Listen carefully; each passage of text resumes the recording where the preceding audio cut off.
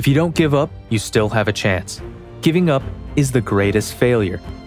From zero to hero, from no one to someone in history. How did a middle class guy from a small Chinese town who failed many times in high school teach himself to be a Chinese business tycoon who influenced the Chinese economy and continued to become Asia's richest person, the only Chinese person to be on the Forbes list for the past 50 years?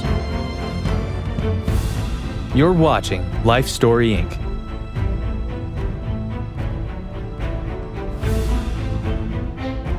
And this is the biography of Jack Ma. Prologue Being a communist country, China does not have much exposure to the capitalist Western countries. In the early 90s, internet is booming in Western countries like the US, but 90% of the Chinese population doesn't even know the internet exists. No general information about China is available on the internet. None of the Chinese people were in the internet business. They don't have much knowledge about its potential. Many of the Western countries tried to tap into the huge online market of 1 billion people, but failed to get adapted to the local Chinese market. Childhood and early life. Ma Yun Nicknamed Jack Ma was born in Hangzhou, located in the southeastern part of China in the year 1964, to a musician family of limited means. He has an older brother and a younger sister. He and his siblings grew up at a time when communist China was increasingly isolated from the West, and his family didn't have much money when they were young. He is not an active student in school and weak at mathematics. He has been fond of English since childhood. After President Nixon visited Hangzhou in 1972, Ma's hometown became a tourist mecca with an overflow of visitors. When a teacher told him that she'd seen foreign tourists near the lake, Jack headed down to see for himself. Ma started waking up early to visit the city's main hotel, offering visitors tours of the city in exchange for English lessons. The nickname Jack was given to him by a tourist he befriended. He practiced his English for nine years, along with continuing his education. Failures and rejections. Failures and rejections hit him hard early in life. He failed the key primary school test two times and the middle school test three times. Having passed high school with difficulty, to continue his studies, he applied to many universities for the first three years, but failed. He also applied for Harvard University 10 times and got rejected every time. Then he joined and completed his bachelor's degree in English at Hangzhou Teachers College, China, after failing it two times, 1984 to 1988. He applied for various jobs and got rejected 30 times. Jack is the one who has been rejected out of the five members who applied for the police department, and he was the only guy who didn't get the job out of the 24 who applied for a job at KFC. Jack Ma finally joined as an English teacher for $12 at the Hangzhou Institute of Electronics and Engineering, as he couldn't find a better job at the time. Family life. Ma has largely kept his family life out of the spotlight. He married Zhang Ying, a teacher whom he met at a school after they graduated in the late 1980s. He is not a handsome man, but I fell for him because he can do a lot of things handsome men cannot do, Zhang said. They have two children, a daughter and a son. Turning point.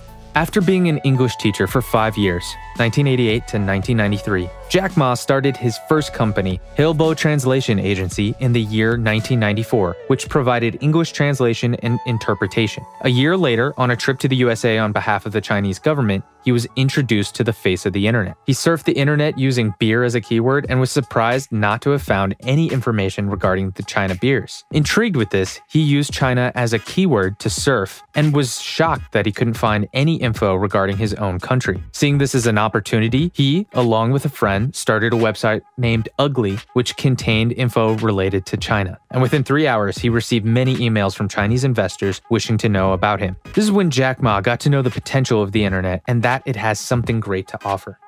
Career and struggles. On his return, he founded China Yellow Pages, which created websites for Chinese businesses and was one of China's first internet companies. He left the company two years later, however, partly because of a strong competition from the communications company Hangzhou Telecom, which had founded a rival company, Chinese Page. From 1998 to 1999, Ma was head of an internet company in Beijing that was backed by the Ministry of Foreign Trade and Economic Cooperation. He felt, however, that if it remained with the government, he would miss out on the economic opportunities that the the internet was bringing. Ma never thought that he was smart. He had an idea to build a site that allows exporters to post product listings that customers could buy directly.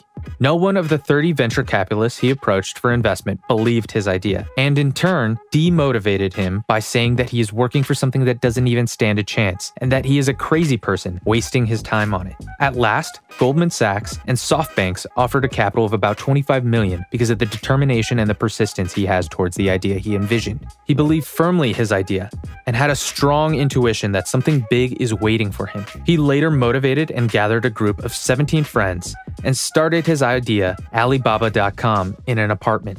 Alibaba.com is a platform that can help suppliers to sell their goods all over the world. Also, buyers can buy goods through this web. A local newspaper published that Alibaba was a terrible idea. Around the time, the dot com bubble bursted in the US, leading to the bankruptcy of many online businesses, and many investors backed off from the online industry. Due to little knowledge of the internet to the people, lack of trust in online e commerce sites, Alibaba, like every other small enterprise, was unable to pay the wages of the employees and is on the verge of bankruptcy. It was then that Ma put in more efforts and motivated his employees to overcome the challenges the company is facing, fight with the pioneers. In the early years, he competed with e commerce legend eBay at that time. eBay used to charge retailers for selling their products on site. Alibaba, in turn, has never charged the retailers, making it free. For the first three years, even though the company ran on losses, he received a lot of emails and messages from customers in regard to satisfaction with the service provided. This gave him hope that one day it would be successful. Little by little, he developed his business. He said, eBay is a shark in the ocean. We are a crocodile in the Yangtze River. If we fight the ocean, we will lose, but if we fight in the river, we will win. He introduced a chat box option and phone calls for customers so they can contact retailers directly. He gave importance to customer satisfaction, local customer issues, and gained their trust by particularly catering to the Chinese people and businesses. He also worked on team building and has taken many bold decisions. Ma wanted to improve the global e commerce system, and in 2003, he founded Taobao Marketplace, Alimama, and Lynx. After the rapid rise of Taobao, eBay offered to purchase the company. However, Ma rejected their offer. To instill confidence in online sales, Alipay was created 2003 to act as a third party in transactions. Six months after the migration, Taobao had captured 60% of the market share, while eBay EachNet held onto 30%. In late 2005, eBay stopped charging users, but was unable to reclaim market share. The growth of Alibaba was rapid. In 2005, it attracted the attention of the American internet portal Yahoo, which bought a 40% stake. By the end of 2006, eBay's market share shrunk to less than 7% and closed down its operations in China and sold them to Tom Online. In 2007, Alibaba.com raised 1.7 billion in its initial public offering, IPO, in Hong Kong, stepping down as CEO. Ma stepped down from his post as CEO in 2013 staying on as an executive chairman. Alibaba went public on September 19, 2014. Today, what we got is not money. What we got is the trust of the people. Jack Ma. Future. He started the Jack Ma Foundation, a philanthropist organization focused on improving education, public health, and environmental problems. He plans to focus on education and return to teaching, his first love before starting an e commerce business. He wants to retire early when asked about his opinion on artificial intelligence, he said in 30 years, a robot will likely be on the cover of Time magazine as the best CEO. Machines will do what humans are incapable of doing. Machines will partner and cooperate with humans, rather than becoming mankind's biggest enemy. Achievements and controversies. In 2004, Ma was honored as one of the top 10 economic personalities of the year by China Central Television. In September 2005, the World Economic Forum selected Ma as a young global leader. In 2008, Barron's featured him as one of the 30 world's best CEOs. In 2017, Fortune ranked Ma second on its World's 50 Greatest Leaders list. Disappearance from the public eye. The Financial Times reported it may be connected to speech about criticism on Chinese regulators and banks. Some speculated that Ma is laying low voluntarily. He made a public appearance via video. What we can learn from his story. Never give up on achieving your goals, even if you fail multiple times. Firmly believe in what you dream, even if the whole world doesn't.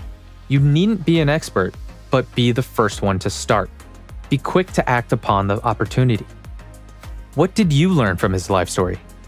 Mention it in the comments below, and if you love the video, don't forget to like the video and subscribe to our channel. Watch our next video on a guy who changed the way we use phones forever Steve Jobs.